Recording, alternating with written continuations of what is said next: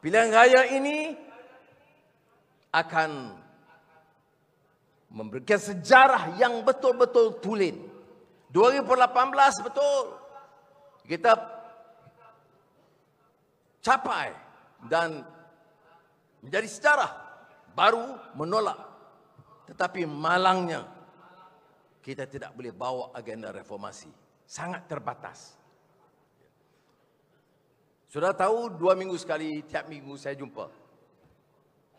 Menggesa Perdana Menteri ketika itu. Semua dia setuju, semua dia jawab ya. Apa apa tak jalan. Sekarang kalau kita berjaya kali ini, janji kita kepada rakyat, insya Allah kita akan tunaikan sepenuhnya. Ramai yang sindir.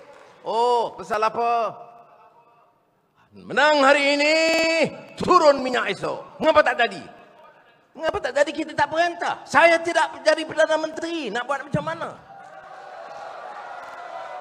Kalau sekarang, dengan harga minyak sekarang, tidak ada sebab minyak tidak boleh turun.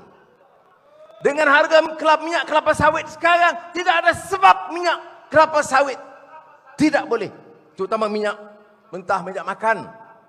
Tidak boleh diturunkan ia tidak boleh diturunkan kerana pihak penguasa yang di atas itu memikirkan cara menyelamatkan korporat di atas dan kita memikirkan cara menyelamatkan rakyat di bawah. Itu bedanya.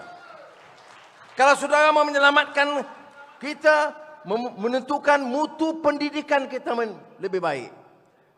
Kemudian kesihatan bagi keluarga kita yang sakit lebih baik pendapatan dan upah lebih baik. Mesti sedia menolak kerajaan yang setelah 60 tahun tidak mampu membawa perubahan itu.